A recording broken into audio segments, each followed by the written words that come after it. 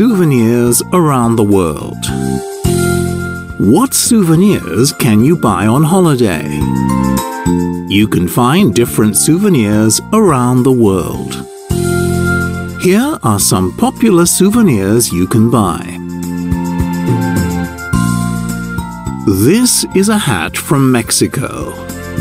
It is a sombrero. Sombreros are very common in Mexico. Sombreros are nice souvenirs you can buy in Mexico. You can see sombreros in souvenir shops in Spain too.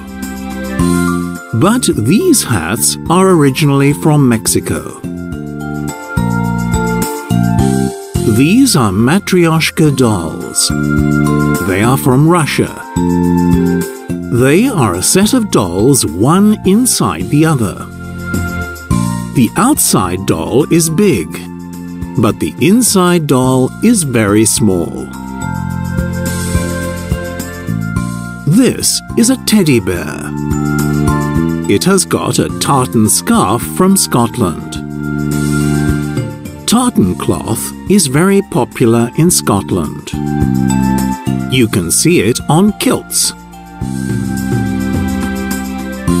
This is a mug. It has got the flag of the United States of America on it. The US flag has got stars and stripes. You can buy a t-shirt with the US flag on it too. This is a keyring. It is Big Ben, the clock tower.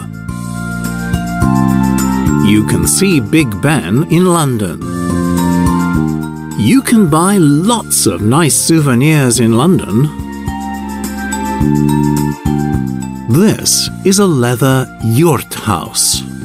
Yurt houses are traditional homes in Kazakhstan. This is a souvenir you can buy there. Traditional musical instruments like the dombra are also popular souvenirs from Kazakhstan.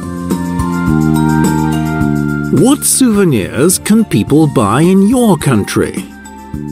Are they like these souvenirs?